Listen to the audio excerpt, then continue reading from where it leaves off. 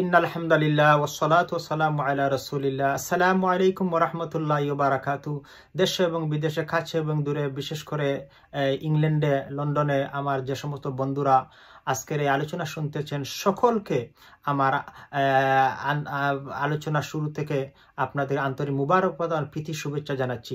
সুপ্রিয় সুদি আমার বন্ধুরা, আজকে আপনাদের সামনে আলোচনা করতে চাচ্ছি যে ফরজ নামাজের পর পাঁচ নামাজের পরে দোয়া, ইমাম সাহ সম্মিলিতভাবে দোয়া করা জায়েজ কি না এবং হাদিস দ্বারা আমরা আজকে এই বিষয়টি পরিষ্কার করব।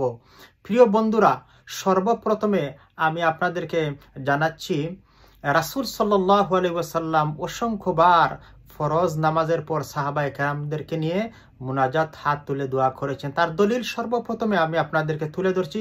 বন্ধুরা, শুরু থেকে সব কটি দলিল আপনারা শোনার জন্য বিনীতভাবে অনুরোধ জানাচ্ছি। সর্বপ্রথম মুসান্নাফ ইবনে আবি সাইবা ইমাম আবু বকর ইবনে আবি সাইবা ওনার জন্ম একশো এক উনষাট হিজড়ি আজ থেকে বারোশো ছিয়াশি বছর আগে তিনি এই কিতাবখানা লিখেছিলেন। মুস্তাফনবিন আবি সাহিবার মধ্যে সাঁত্রিশ হাজার কিতাব হাদিস এসেছে। এই কিতাবটি ইমাম বুখারি রহমতুল্লাহ আলাই ওনার জন্মের তেত্রিশ বছর আগে উনি জন্মগ্রহণ করেছেন।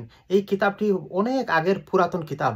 মুস্তাফ ইবনে আবি সাহিবা এখানে এখানে হাদিস এসেছে, আনিল আসওয়াদ ইবনে আমের রদিয়াল্লাহ আন আবিহি ক্বালা, সাল্লাইতু মা রাসূলিল্লাহি সাল্লাল্লাহু আলাইহি সাল্লাম ফাজরা, ফালাম্মা সাল্লামা ইনহারাফা ওরফা ইয়াদাইহি ওয়া দাআ। এই হাদিসটি অর্থ হচ্ছে, রাসূল, সাহাবী বর্ণনা করেন যে, আমি রাসুল্লাহ সাল্লাল্লাহু আলাইহি ওয়াসাল্লামের সাথে ফজরের নামাজ জামাতের সাথে আদায় করেছি এবং রাসুল সাল্লাম ফজরের নামাজের সালাম ফিরানোর পর দুখানা হাত তুলে দোয়া করেছেন এবং আমরাও সাহাবাই খেরাম যারা ছিলাম সকলেই হাত তুলে দোয়া করেছি।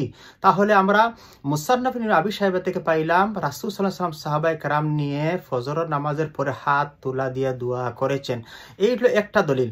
দুই নম্বর, ওই কিতাবে মুসানা ইবনা আবি আরেকখানা হাদিস এসেছে ইন্না রাসুল আল্লাহ সাল্লাহ সাল্লাম লাম ইয়াকুন ইয়ারফাউ ইয়াদাইহি হাত্তা ইয়াফরুগা মিন সলাতিহি।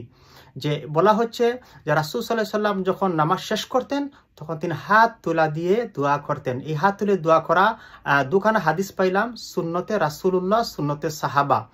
এইবার বন্ধুরা, আমি আপনাদের কাছে আরেকখান হাদিস কোট করতেছি। হাদিস নম্বর তিন হজরত ইমাম বুহারি রহমতুল্লাহ আলাই তার তারিকুল খাবির গ্রন্থের মধ্যে উল্লেখ করেছেন, আন মুগিরা আনিন নবী সাল্লাহ আলী সাল্লাম আন্নাহু কানা ইয়াদি দুবুরি কুল্লি সলাতিন এর অর্থ হচ্ছে, ইমাম বুহারি রহমতুল্লাহ আলী বর্ণনা করতেছেন মুগিরা হতে, যে রাসুল সাল্লাহ সাল্লাম প্রত্যেক নামাজের পর ফরজ, সুন্নত, নফল, এই সকল প্রকার নমাজের পরে নবীজি দোয়া করতেন। সুবাহান আল্লাহ সুবাহান আল্লাহ আমরা তিনখানা হাদিস দলিল হিসাবে আমরা পাইলাম। বন্ধুরা আমার, এইবার আপনাদের সামনে আরেকখানা হাদিস আমি উল্লেখ করতেছি এটা হলো গিয়া সুনানে তিরমিজি শরীফের হাদিস বন্ধুরা হাদিস শরীফে বলা হচ্ছে তিরমিজ শরীফের দ্বিতীয় খণ্ডে মূল আরবি কিতাব একশো সাতাশি নম্বর পৃষ্ঠায় আছে আন আবি উমামাতা রদিয়াল্লাহ তালানহু قال قيل يا رسول الله أي الدعاء أسمع قال جوف الليل الآخر ودبور الصلاة صلوات المكتوبات তিরমিজ শরীফে ইমাম তিরমিজ রহমতুল্লাহ বর্ণনা করেছেন যে হজরতে আবু উমামা রদি আল্লাহ তালান বলেন, রাসুলে পাক সাল্লাহ আলি সাল্লামকে জিজ্ঞাসা করলে, ইয়া রাসুল আল্লাহ কোন দোয়াটি আল্লাহ তালা বেশি শুনেন এবং কোন দোয়াটি আল্লাহ বেশি কবুল করেন? এর জবাবে রাসুল সাল্লাহ সাল্লাম বললেন, ফর শেষ রাত্রে দোয়া আল্লাহ তালা কবুল করেন এবং প্রত্যেক ফরজ নামাজের পরে দোয়া আল্লাহ পাক কবুল করেন। সুবাহান আল্লাহ সুবাহান আল্লাহ এই তিনমি শরীফ হাদিস তার আমরা জানলাম যে রাসুল সাল্লাহ সাল্লাম দোয়া করার জন্য উম্মতকে, সাহাবিদেরকে উৎসাহিত করেছেন। সুবাহান আল্লাহ সুবাহান আল্লাহ বন্ধুরা, এ পর্যন্ত আমরা এই চারখানা হাদিস আমি আপনাদের সামনে তুলে ধরলাম। এরপরে বন্ধুরা পাঁচ নম্বর একখানে হাদিস আছে মিশকা শরীফের মধ্যে হজরত ফদল ইবনা আব্বাস থেকে। এই হাদিসের তর্জমা আমি বলতেছি যে, নামাজের পরে দুই রাকাত, চার রাকাত তিন রাকাত নামাজের পরে নামাজ আদায়কারী সে যেন বিনয়ের সাথে হাত তুলে আল্লাহর কাছে বলবে, ইয়া রাব্বি ইয়া রাব্বি এইভাবে দোয়া করবে। যদি সে নামাজের পরে দোয়া করে না, তাহলে এই হাদিসে বলা হচ্ছে, ফাহুয়া কাজা ওফি রেওয়ায়াতিন, ফাহুয়া খিদা অর্থাৎ নমাজের পরে যদি কেউ দোয়া করে না, তাহলে তার নামাজ অসম্পূর্ণ হয়ে যায়, তার নমাজ কবুল করা হয় না। এই হাদিস তার আমরা মিসকাশ হাজার বুঝলাম। নাবিজি বলতেছেন যে নামাজের পরে যেন দোয়া করার জন্য। কারণ দোয়া করলে নামাজের ভুল ত্রুটি, অনেক অসুয়াশা আছে। নামাজের সময় সবগুলো আল্লাহ ক্ষমা করে, দোয়ার কারণে আল্লাহ কবুল করে নেন। এই জন্য নবীজি আমাদেরকে এই হাদিস ও মেশকার হাদিস উৎসাহিত করেছেন। আমরা ফার্স্টখানা হাদিস বন্ধুরা এখানে পেয়ে গেলাম। এইবার আপনাদেরকে বলব, দোয়ার জন্য একটা সূত্র আছে। এই মূল সূত্রটা মনে রাখতে হবে এবং এটি হলো মূল সিস্টেম আন মালিক ইবনে ইয়াসার আস-সুকুনি আন্না রাসূল আল্লাহ আলাইহি ক্বালা ইজা সাআলতুমুল্লাহা ফাসআলুহু বিবুতুনি উকাফিকুম ওয়ালা তাসআলুহু বিজুহুরিয়া ওয়া ফি রিওয়ায়াতিন ইন্না রাসূলুল্লাহ সাল্লাল্লাহু আলাইহি ওয়াসাল্লাম কানা ইজা দাআ ফারাফা ইয়াদাইহি। এটি হলো বন্ধুরা, দোয়ার জন্য সূত্র। দোয়া করার জন্য মূল সূত্রটা মনে রাখতে হবে। এই সূত্র মনে না রাখলে দোয়া জন্য শুভনীয় নয়। একটা হচ্ছে হ্যাঁ হজরত মালিক ইবনে ইয়াসার অধ্যয়ন বলেন রাসুল্লাহ সাল্লাম বলেছেন, যখন তোমরা আল্লাহর কাছে কিছু চাইবে, যখন প্রার্থনা করবে, দোয়া করবে, তখন তোমরা দুই দুই হাতের তালুর তালুর দিক দিয়ে আল্লাহর কাছে চাইবে। দুই হাতের পিঠের দিক দিয়ে, পিঠ দিয়ে কোনো কিছু চাইবে না। এটা হলো মূল সূত্র বন্ধুরা। এই দোয়া করার জন্য হাত তোলা দিতে হবে, বুক বরাবরে। এবং হাতের তালুর সামনের দিকে সামন দিক দিয়ে আল্লাহর কাছে চাইতে হবে। এটা হলে মূল সূত্র মনে রাখতে হবে। এটা হলে দোয়ার জন্য আসল মূল সূত্র। এরপরে বলা হচ্ছে, ইন্না রাসুল সাল্লাম খানা ইজা দা ফারফা রাসুল দোয়া করতেন, তখন হাত তোলা দিতেন। এটা শূন্যতে রাসুল উল্লাহ সাল্লাম শূন্যতে সাহাবা। এইবার আপনি আরেকখানা হাদিস আপনাদেরকে বলতেছি জুহরের নামাজের পরে রাসুল সাল্লাম হাত তুলে দোয়া করেছেন। এই দলিলটা হচ্ছে তফসিরে তবরি। তফসিরে তবরি সপ্তম খণ্ড লেখক হলেন ইমাম আবু জাফর মোহাম্মদ ইবনে জরির আর তবরি রহমতুল্লাহ আলহি ওনার জন্ম হচ্ছে দুইশো চব্বিশ হিজড়ি আইস থেকে বারোশো একুশ বছর আগে এই তফসিরে তবরি লেখা হয়েছিল। এই তফসিরে তবরির সপ্তম খণ্ডের মধ্যে আছে যে হাদিস খানা চান আবি হুরায়রাতা আন্না রাসূলুল্লাহ সাল্লাল্লাহু আলাইহি রফা ইয়াদাহি বাদা মা সাল্লামা ওয়া হুয়া মুস্তাকবিলুল কিবলা।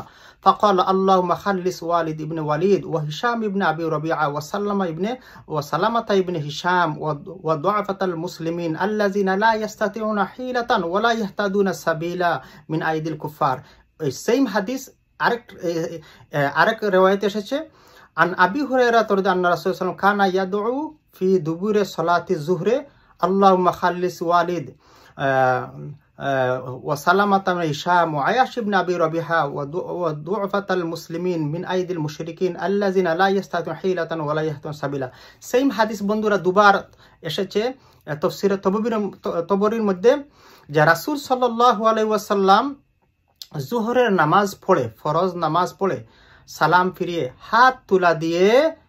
এই দোয়াখানা করেছেন। এবং শুধু রাসুসাম নয়, উপস্থিত যত সাহাবাই কেরাম ছিলেন, সকলেই নবীজিরে হাত তুলা দেয় দেওয়ার সাথে সাথে নবী সাহাবাই কেরাম আদবওয়ালা ছিলেন, বড় সভ্য ছিলেন। তারা মহব্বতে হব্বুর রসুল তাদের হৃদয়ে ছিল। তারা উজমতে উজমতে রসুল, মোহব্বতে রসুল তাদের খলিজার মধ্যে ছিল। নবীজি যখন হাত তোলা দিতেন সাহাবাই কেরাম হাত তোলা দিয়ে এইভাবে দোয়া করছেন। এইটা হলো জুহরের নামাজের পরে নবীজি হাত তোলা দিয়ে দোয়া করেছেন সুবাহান আল্লাহ তাহলে আমরা দুকানা হাদিস পাইন একটা হলো ফজরের নামাজ পড়ে নবীজি হাত তোলা দিয়ে দোয়া করেছেন, জুহরের আর কানা ভাইলাম তফসির তবরি থেকে। যে জুহরের নামাজ পড়ে নবীজি হাত তোলা দিয়ে দোয়া করেছেন। বন্ধুরা, এভাবে অসংখ্য দোয়া করার হাদিস এসেছে। আল্লামা ইবনে কাসির রহমতুল্লাহ আলহি আল বিদায় নেহা ষষ্ঠ কন্দে সাহাবাই কারাম ফজর নামাজ পড়ে সাহাবি হাত তুলা দিয়ে দোয়া করেছেন। এই হাদিসগুলা জমাতের সাথে দোয়া করে হাদিস তিনি এনেছেন, ঘটনাটি এনেছেন।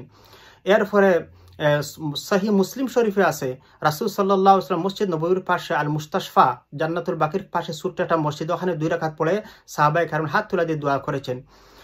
ইমাম জালাউদ্দিন সৈদুর রহমতুল্লাহ আলহি প্রায় চৌত্রিশ খানা হাদিস তিনি উল্লেখ করেছেন, যে নবীজি হাত তুলা দিয়ে দোয়া করেছেন। সাহি বুখারিতে অসংখ্য হাদিস এসেছে, বন্ধুরা, রাসুল সাল্লাহ সাল্লাম হাত তুলা দিয়ে দোয়া করেছেন।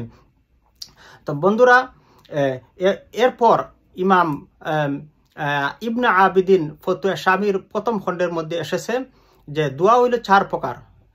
এক নম্বর হলো দোয়াউ রুকবাতুন, দুই নম্বর দোয়ায়ে রুহবাত, তিন নম্বর দোয়ায়ে তাদারুইন চার নম্বর দোয়ায় খুফিয়া।